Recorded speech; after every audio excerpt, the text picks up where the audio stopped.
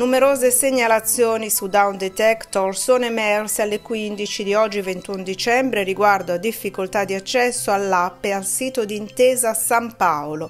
La natura precisa dei malfunzionamenti non è chiara poiché la banca non ha ancora rilasciato dichiarazioni ufficiali.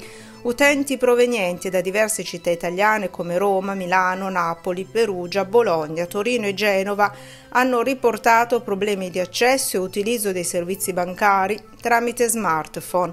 Attualmente oltre mille utenti hanno segnalato tali inconvenienti.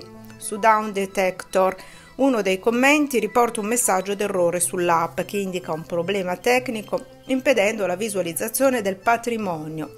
Al momento non sembrano esserci difficoltà nei pagamenti come dimostrato da un positivo acquisto con il POS